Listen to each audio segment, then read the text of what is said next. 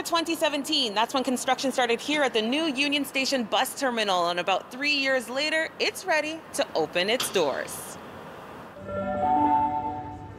Go bus Route 21H departing at 1220 to Square One is ready for boarding.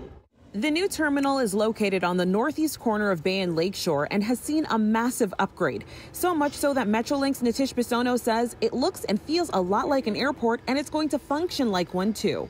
The new terminal will essentially have a larger waiting area. It's going to be an indoor climatized uh, area where you won't have to step foot outside. Never outside. Never outside. It will have amenities as well.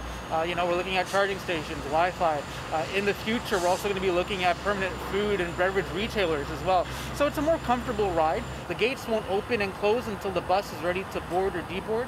And again, that's just really to enhance safety, to make sure that no one is in the way of a moving vehicle. So it'll make it easier for me to get from point A to point B.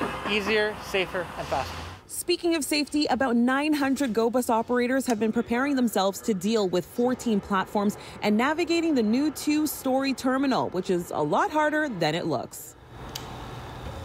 Good.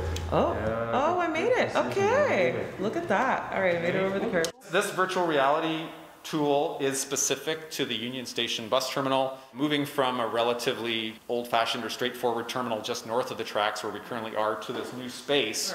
Sure. We wanted to drive out as much reinforcement and um, Get people I guess exactly get our drivers as ready as possible so that they'll be able to provide efficient service and an optimal customer experience.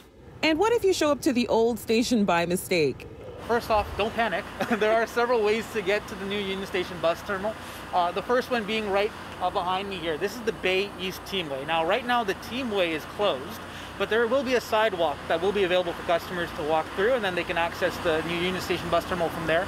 It is easy. It is literally south of the current uh, bus station, so it's just down the street. The current Union Station bus terminal will close at the end of the service day, Friday, December 4th. From then on, commuters can expect that this terminal will be open on December 5th. If there's anything that's driving you wild, make sure you scan the code at the bottom of your screen. Stephanie Henry, City News.